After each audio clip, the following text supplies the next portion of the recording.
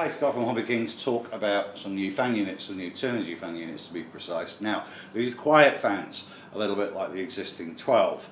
Um, now, the first thing I will say here, before we go any further, is this is not just a case of sticking other rotors into an alloy casing. These are ground up, okay, which we'll come to in a second. Size-wise, we have, I've only got two of them here at the moment. We have 68mm unit, we have the 90mm unit, um, also, with us very, very shortly, already been tested, is a 110, which is a bit of an unusual size, but obviously there are certain 90mm jets out there that will accept a 110, and a whacking great big 120. Now, um, as I said, these are not just a case of sticking various components together. One of the first giveaways here, for instance, is the high state account you'll see at the back. Um, this has been, there we go, they have been purpose designed for the job.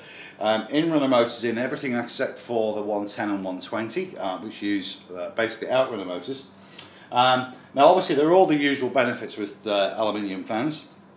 You don't get casing distortion, obviously heat dissipation should be better and so on and so forth. Now this version here, the 68mm for instance, this is putting out 2.4 kilos of thrust, which is pretty respectable.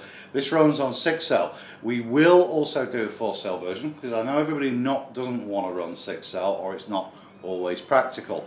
Um, the 90mm, again, currently, this is a 1000 kV motor, so it's designed for 8 to 10 cell. And the figures on 10 cell, particularly for the tie blade count for 12 blades, are actually really, really quite impressive. Um, we're talking under 100 amps, and we are looking at 4.65 kilos of thrust, which is pretty respectable for a 90 millimeter fan. Um, the 110, obviously, like I say, slightly odd, and then we get up to the big 120, which is putting out getting on for 8 kilos of thrust, which is really impressive.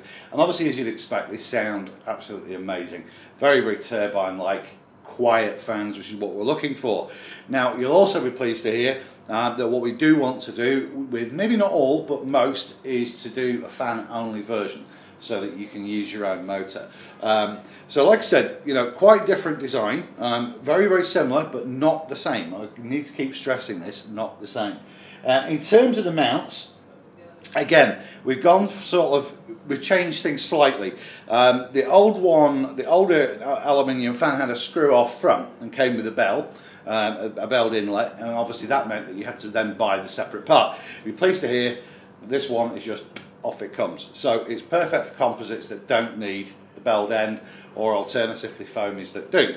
Um, likewise, the mountings, that was another issue before. Uh, it required a band, which obviously we sell. Uh, this one gets away from this now with two aluminium brackets here that come with the fan unit and basically it's tapped on the side here so they will just screw on and Bob's your uncle, you're off and they're obviously in terms of foamies where again you very rarely need these kind of rail mounts then obviously you can just put it in as usual with your hot glue or however it is you decide to do it. So I think very exciting stuff. Um, if you please keep an eye out for them very, very soon on HobbyKing. And as always, please subscribe to our YouTube channel. Cheers.